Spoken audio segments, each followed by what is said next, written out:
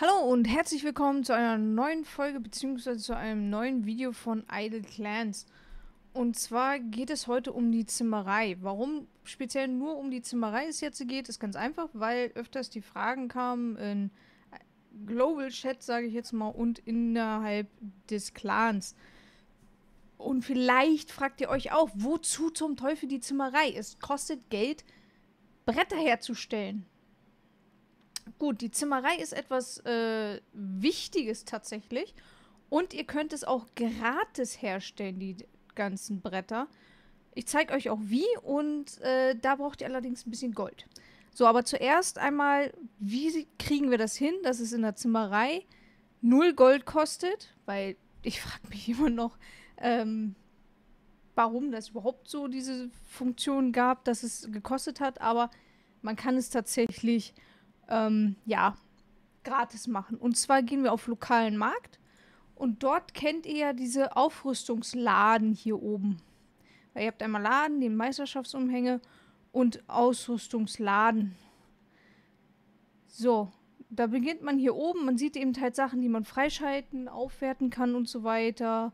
Wie zum Beispiel auch, wenn man weiß, man ist nur höchstens einmal am Tag drin und schafft es nicht innerhalb von zwölf Stunden immer wieder mal nachzugucken, kann man sich hier Stunden holen. Aber darum geht es jetzt nicht. Und zwar geht es eher darum, in dieser Kategorie hier mit Fertigkeiten, dieses süße Schweinchen hier, diesem Plankenschnäppchen, das zu bekommen. Und zwar auf Stufe 3. Stufe 1 kostet 500.000. Stufe 2 müsste eine Million gekostet haben. Und Stufe 3 war 2 Millionen. Das heißt, ihr müsst 3,5 Millionen an Gold haben, um dann eben halt 100% kostenfreie Arbeiten im Zimmereibereich zu haben. Das hier will ich auch am liebsten haben, aber ich spare momentan noch mein Gold für was anderes. Deswegen, ah, egal, ich will nicht abschweifen. Äh, also, wenn ihr das habt, kostet in Zimmerei ist nur noch Holz und immer ein Brett kostet es. Es erhöht sich hier nicht in diesem Ganzen, sondern es bleibt bei einem Bre äh, Stamm pro Brett.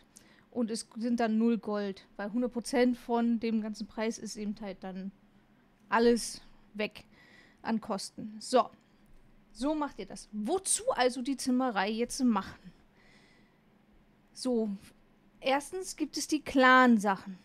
Die Clan-Sachen das ist hier das allgemeine Statistik aller Spieler zusammengerechnet. Das ist der Durchschnitt von allen zusammen. Und den erhöht man, indem man selber seine Skills zum Beispiel erhöht. Wir sind zurzeit dran, auf 65 Zimmerei zu kommen. Da steht dann Erfahrung zum nächsten Level 1735. Ich produziere jetzt äh, ähm, Bretter, um das zu leveln für uns. Andere machen das tatsächlich auch sehr fleißig, damit wir nämlich auf 65 kommen. Ganz einfach warum? Weil wir in das Housing bzw. Fähigkeits-Erfahrungsbonus-Steigerung noch drin sind. Und dort gibt es eben halt Anforderungen, die man erfüllen muss. Und zwar unter den Fertigkeiten. Und wie ihr sehen könnt, ist hier Zimmerei 65. Wir haben das Gold schon. Wir haben das Gold schon. Ahornbretter und Stahlbarren haben wir fertig und sehen dann, was wir bekommen. Und diese 5% mehr Erfahrungsbonus klingt echt geil. Und ist auch wichtig, weil umso höher man kommt, umso langsamer wird man ja in den ganzen Fertigkeiten, also in den Berufen und so weiter. Und genau das ist es halt. Wir versuchen hier Zimmerei hochzumachen. Aber das ist nicht alles, was der Clan damit machen kann. Es gibt den Reiter Aufrüstungen auch noch. Da gibt es auch jede Menge Anforderungen, die man erfüllen muss, um eben halt Sachen freizuschalten, damit es noch besser und geiler ist im Spiel, mehr einfach mehr machen kann, schneller alles geht, leichter alles geht.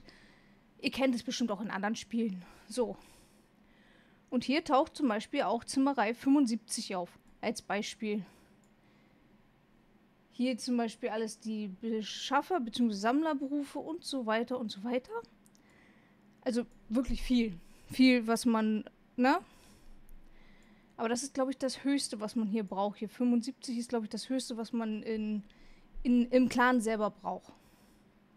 Ja, das ist dann, dann kann man das so ein bisschen vernachlässigen, wenn man das selber nicht mehr braucht oder sowas, um das zu leveln für den Clan. Aber ist 75 eine geile, wichtige Zahl dann.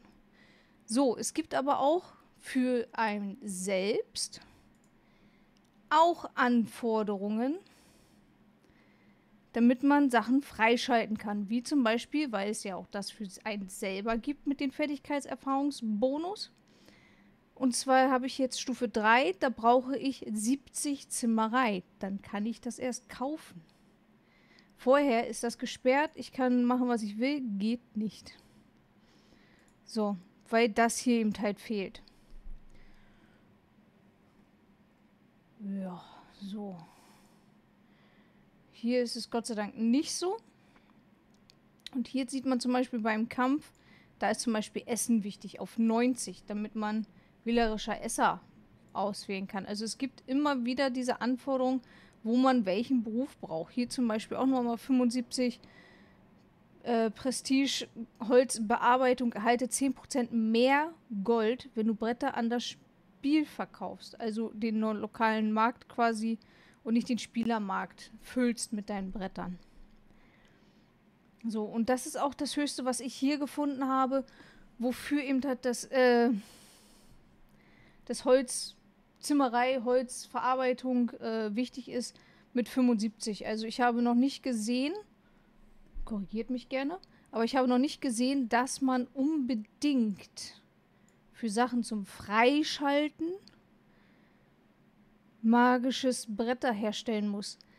Es kann aber sein, was ich leider vermute, weil ich bin noch nicht so weit, dass Transporte, also beziehungsweise hier die Fertigkeitserfahrungsbonus, potenziell immer weiter steigt. Das ist auch im Clan, dass es immer weiter steigt, dass man immer weiterhin, immer Zimmerei braucht.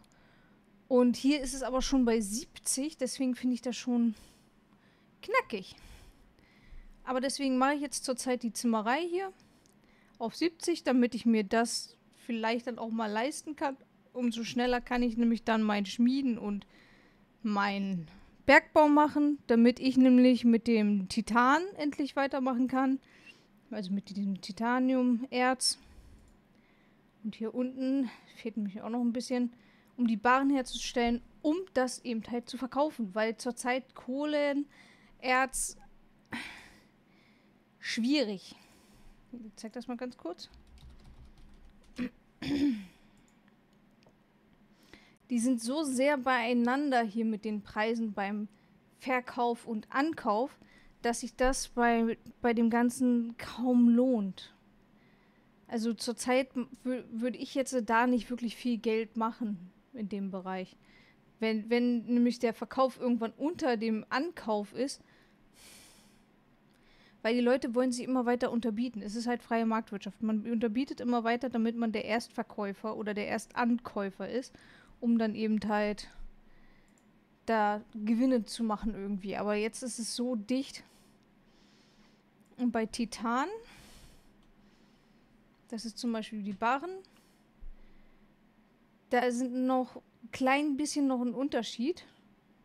Aber der, ne, man sieht schon, wie groß die Sprünge manchmal auch ist. Und hier hat man das Erz zum Beispiel. Die nähern sich alle sehr an.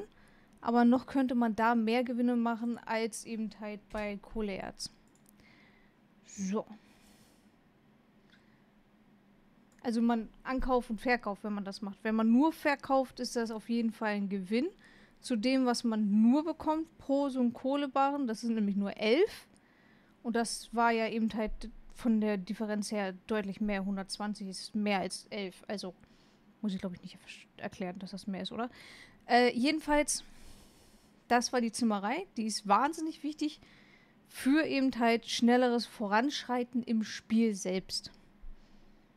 Ja, ich hoffe, ich konnte euch das einigermaßen erklären. Ich hoffe, ich hab, ihr habt es verstanden. Ähm, dann wünsche ich euch noch einen schönen Tag. Passt auf euch auf. Wenn ihr, wenn es euch gefallen hat, Like da lassen und es wäre super geil, ein Abo zu bekommen. Also bis dahin, bis zum nächsten Mal. Tschüss.